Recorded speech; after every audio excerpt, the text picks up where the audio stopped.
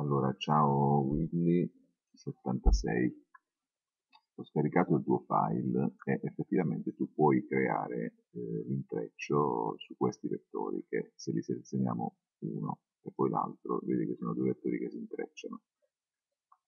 Credo che la migliore soluzione sia quella di fare l'intreccio eh, su una distanza un pochettino più lunga rispetto a ciò che andremo a fare come arco che è questo qui. Ne facciamo piccolino. Ok.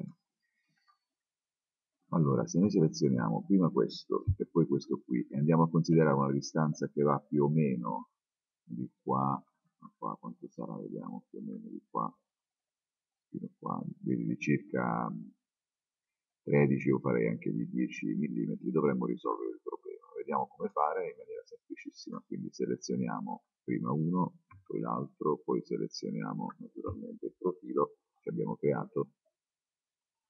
Eh, ho fatto già delle prove, come vedi intanto togliamo questa spunta sul relative to cross section, ci mettiamo 10 e facciamo 60 di superiore per esempio, 60 di inferiore, poi ti divertirai tu praticamente a lavorare su questi parametri. Potresti anche mettere 0 qui, non ci sono problemi scusami, o il contrario, insomma ti fai tu un po' di prove. Facciamo ok e vediamo che cosa ne viene fuori. Allora, in questo caso, vedi, credo che abbiamo ottenuto l'effetto che ti voglio. Questo comincia a scendere, vedi, prima. Penso si veda bene. Magari possiamo fargli anche un reset. Mettiamo un profilo maggiore così capiamo meglio.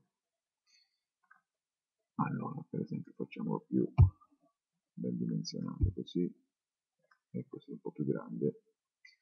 E andiamo a selezionare nuovamente i vettori incriminati. Proviamo a fargli per esempio se facciamo qui 70 e qui magari gli mettiamo 0 probabilmente con 10 uscirà una cosa fatta meglio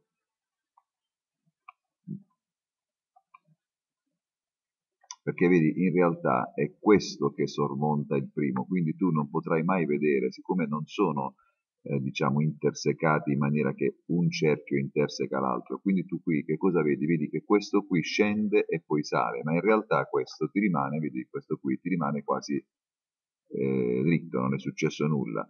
Tu in realtà vorresti una situazione, questo deve scendere giù, ma questo qui dovrebbe salire. Ecco perché io ho scelto di fare praticamente, quindi CTRL Z, di optare per la soluzione, per esempio può essere 70-70 con 10, vediamo cosa viene fuori. Ecco, vedi? Adesso il discorso cambia, perché questo sormonta questo qua e questo va sotto e credo che questa soluzione per te dovrebbe essere la migliore. Ok? poi naturalmente vabbè, ti vai a fare le altre eh, lavorazioni sugli altri vettori. Questi non mi piacciono molto li hai sicuramente eh, ricostruiti da un rilievo un po' bruttini li aggiusterei un pochettino. Vabbè. Spero che ti sia stato d'aiuto e che questo era ciò che cercavi. Ok? ciao ciao e alla prossima